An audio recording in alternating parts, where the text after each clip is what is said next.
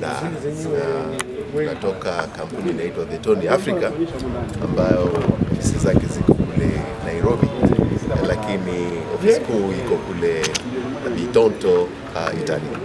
Sasa sisi tuko na historia ya kutengeneza mashini ambazo zinakamua mafuta kutoka kwa matunda. Hii kampuni ilianza kutengeneza mashini mwaka wa 1904 uh, za kutengeneza mafuta ya olive. Miaka kumi iliyopita ndio tukaanzisha research ya kutengeneza mashini za kukamua mafuta kutoka parachichi, na hizi mashini zina manufaa kwa shauri wakulima, huwa wanapata ile wanaita reject, ha, yale matunda ya parachichi ambayo hayawezi uzwa uh, kule masoko ya Ulaya ama masoko mengine ambayo pengine hayawezi kulika.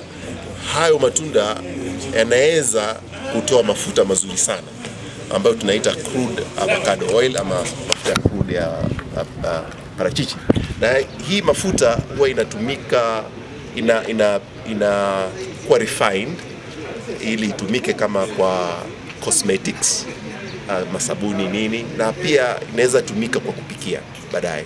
Kwa hivyo huwa tunasaidia wakulima ili wapate manufaa zaidi kutoka kwa parachichi uh, kwa kwa ku um, kwa, ku, kwa, kutu, kwa, kwa, kwa kuchukua yale rejects na kugeuza iwe mafuta ili wapatie hela nyingi.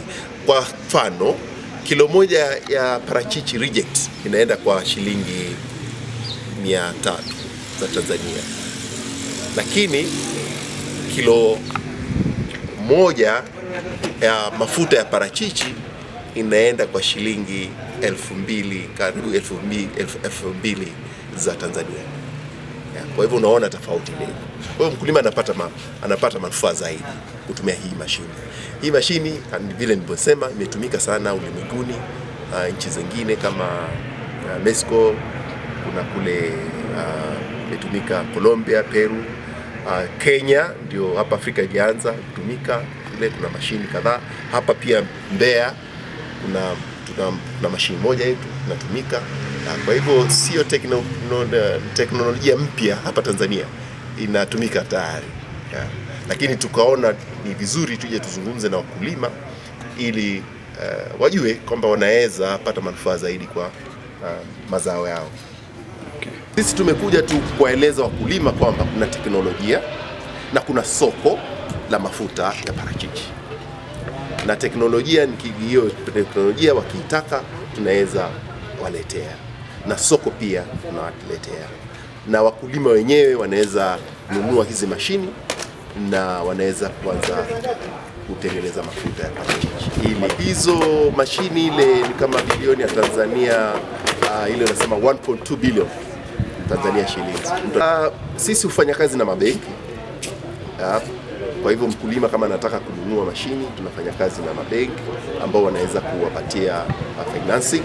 Pia wale wakulima uh, ambao wa, wako na hela zao na wanataka kuweka uh, mashini uh, tuna tunapatia financing asilimia hamsini ya ile eh, mashini uh, ambazo watalipa wakishaanza kutoa mafuta ama wakishaanza kukomoa mafuta ndio wanalipa hiyo ndio huwa tunawasaidia. Pia tunawasaidia na jinsi ya kuendesha ule mtambo, tunawafunza uh, tunapatia hiyo mafunzo na teknolojia vile wanaweza ku, ku, ku, ku, kuendesha ile mtambo.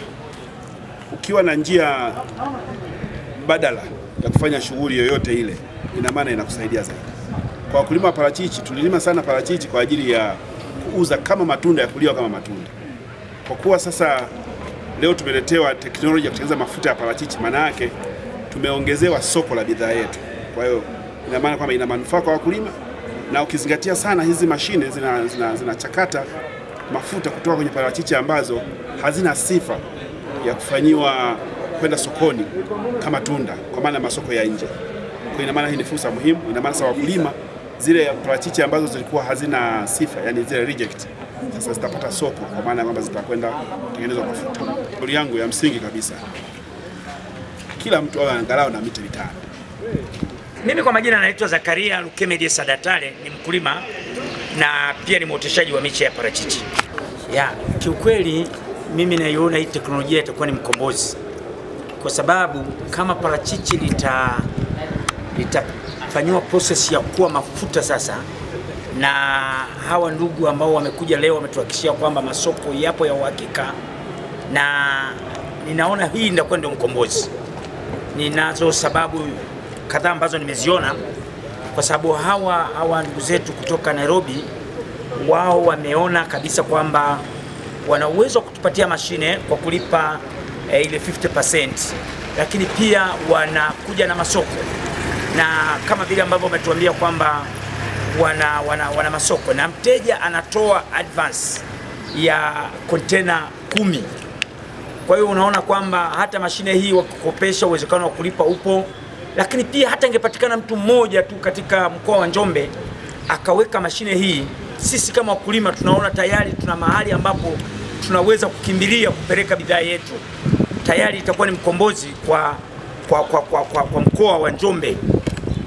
Kwa hiyo ni muhimu sana mashine hii kufungwa hapa, maana yake tutakuwa na uhakika wa kupeleka mazao yetu ay, matunda yetu mahali ambapo tayari tuna uhakika kwamba tulime kwa wingi na tunaweza kupeleka. Na mashine hii ki, ki, kimsingi nimeona ina uwezo mkubwa, kama ina uwezo wa kuzalisha tani tano mpaka tani saba kwa saa moja, maanake bado tutakuwa na uhitaji mkubwa sana wa, wa, wa, wa, wa, wa, wa matunda haya ya parachichi kwa sababu kama itazalisha kwa, kwa saa moja tani saba, embu niambie kwa masaa kumi na mbili piga saba mara kumi na mbili hiyo ni siku moja.